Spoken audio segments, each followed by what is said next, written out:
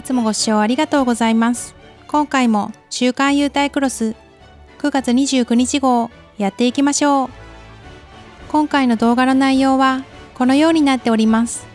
動画の前半ではこれから換算期に入ります。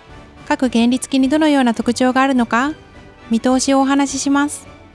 先週の10月期以降の実行状況も簡単に見ていきます。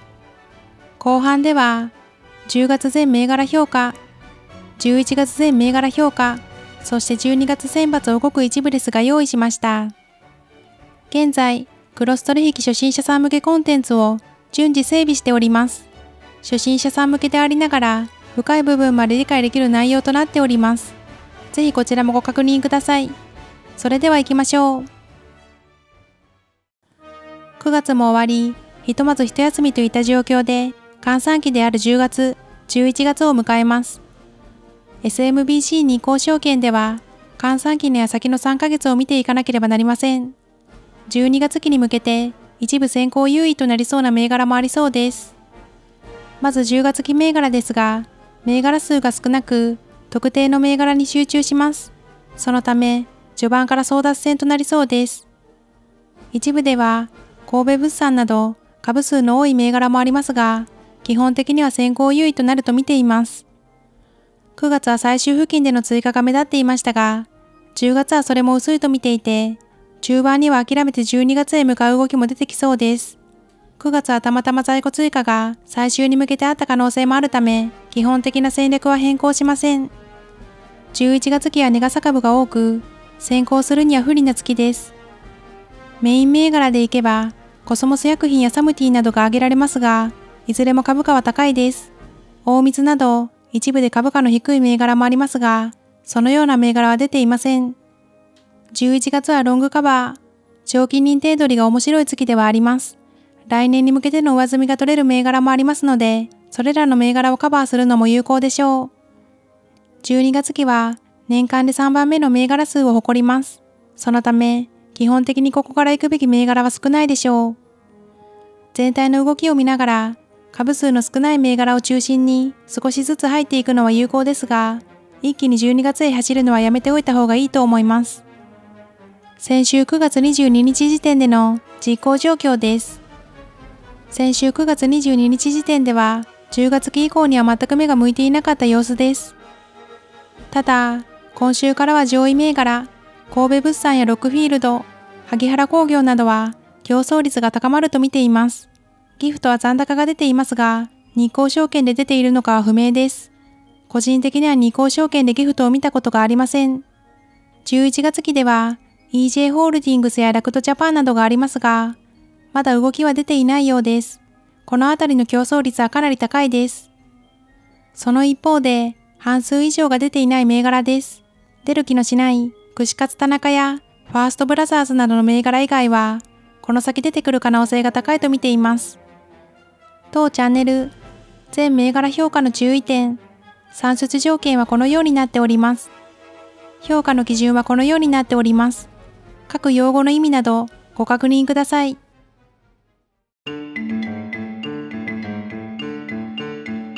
それでは見ていきましょう。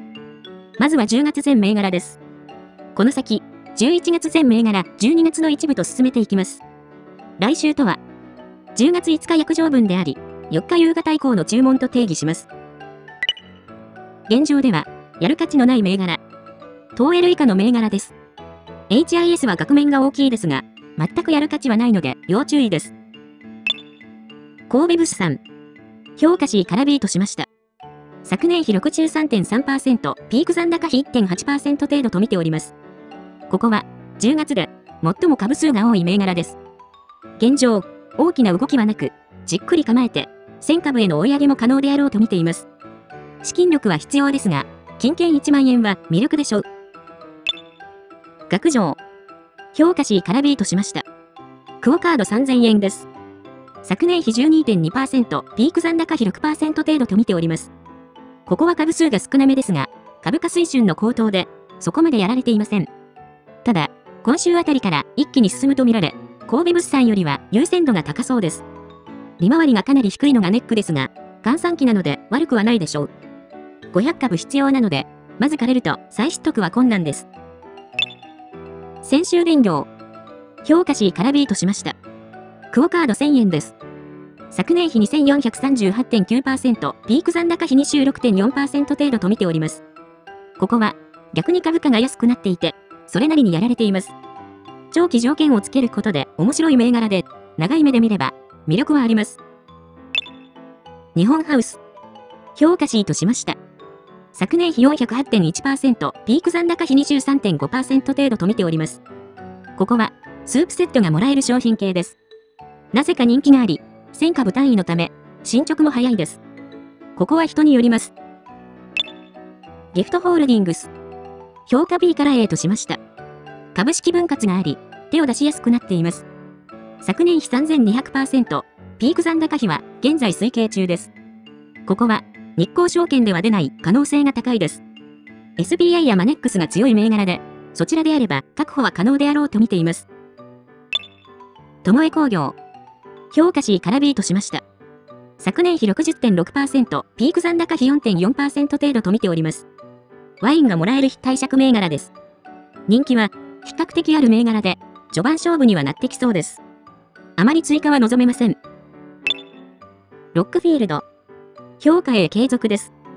昨年比65.8%、ピーク残高比15.5%程度と見ております。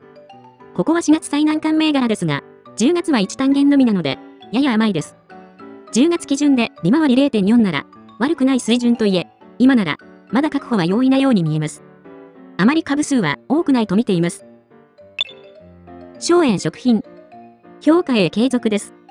昨年比89.2%、ピーク残高比20.2%程度と見ております。ここは、株価水準がやや切り上がっているにもかかわらず、昨年並みにやられています。ここから一気に走られる可能性もあり、枯れても再追加は望めますが、相当厳しい争奪戦になりそうです。萩原工業。評価 S 継続としております。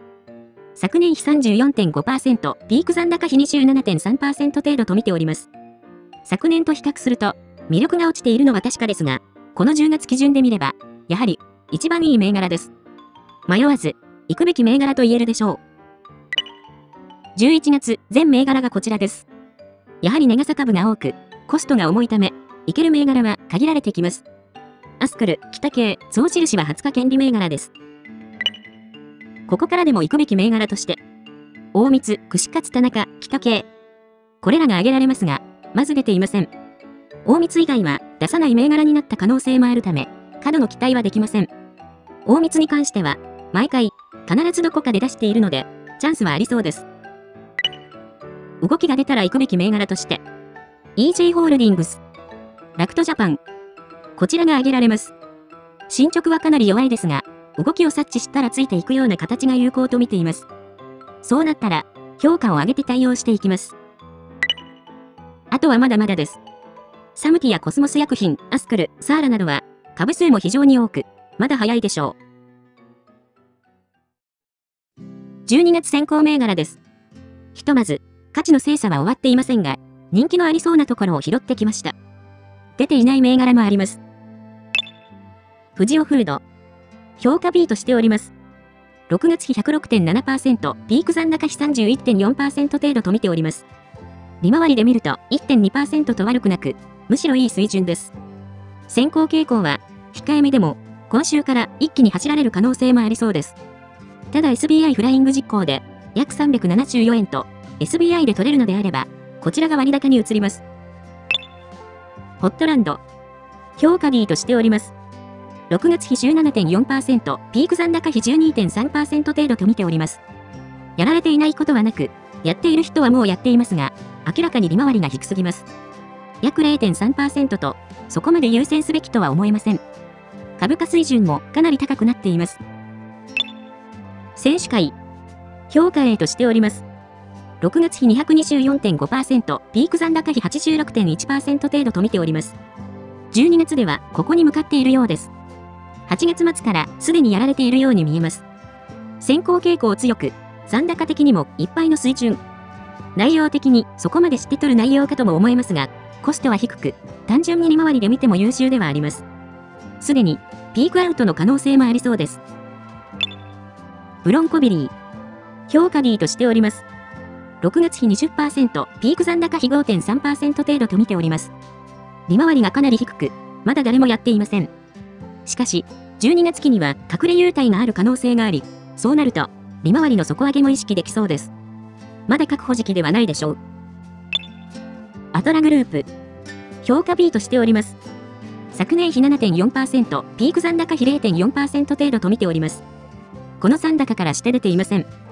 昨年はこの時期あたりから少しずつ出てきており、もし見かけた場合は、この株価ですから検討は可能でしょう。出さない銘柄の可能性もあります。以上、今回も週刊優待クロス。やっていきました。今回は、初回としまして12月はわずかですが、今後、日柄の消化とともに増やしていく予定です。最後まで見ていただきありがとうございました。良ければチャンネル登録、高評価、よろしくお願いします。